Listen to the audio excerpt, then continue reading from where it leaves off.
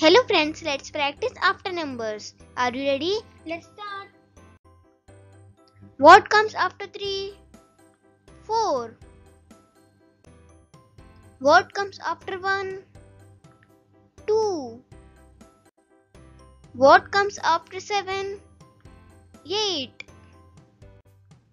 What comes after 4? 5. What comes after 9? 10. What comes after 8? 9. What comes after 2? 3. What comes after 6? 7.